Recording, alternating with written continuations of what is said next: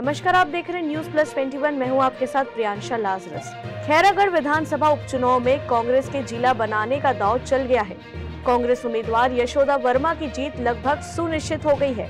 वह अपने करीबी प्रतिद्वंदी बीजेपी के कोमल सिंह जंघेल से पंद्रहवें राउंड तक 15,633 वोटों से आगे चल रही है। तमाम कोशिशों के बावजूद बीजेपी जीत दर्ज करने में सफल नहीं हो सकी। जबकि जेसीसी जे के खाते में रही इस सीट को उसके उम्मीदवार नरेंद्र सोनी नहीं बचा सके। यहाँ तक कि उनकी जमानत भी जब्त हो गई। कांग्रेस उम्मीदवार यशोदा वर्मा पहले राउंड से ही बढ़त बनाए हुए थी। कांग्रेस में जीत का जमकर जश्न चल रहा है। खैरागढ़ से लेकर रायपुर तक कांग्रेसी ढोल बजाकर डांस कर रहे हैं।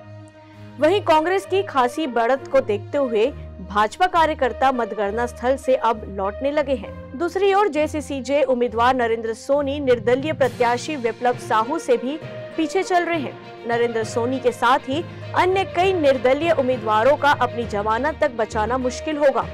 कांग्रेस की जीत पर पीसीसी चीफ मोहन मरकाम पत्रकारों से वार्ता कर राजीव भवन में खुशी ज़ाहिर की। सबसे पहले तो खैरागढ़ की महान जनता को कांग्रेस पार्टी की ओर से दिल से धन्यवाद देना चाहता हूँ, दिल से आभार प्रदर्शन करना चाहता हूँ। कांग्रेस पार्टी कांग्रेस पार्टी की नीतियाँ और हमारी सरकार, माननीय भूपेश बघेल सरकार की नीतियों, उपलब्धियों, योजनाओं पे वहाँ की जनता ने विश्वास किया है।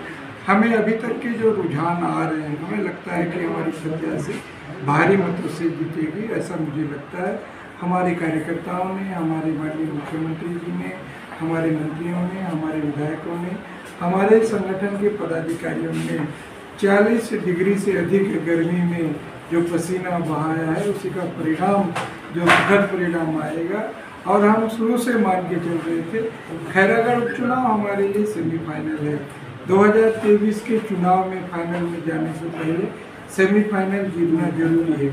हमने वो लक्ष्य लेकर चल रहे थे अभी तक हमें जो लगता है, खैरागढ़ उपचुनाव भी जीतेंगे और फाइनल 2023 के जो चुनाव है, फाइनल भी जीतेंगे।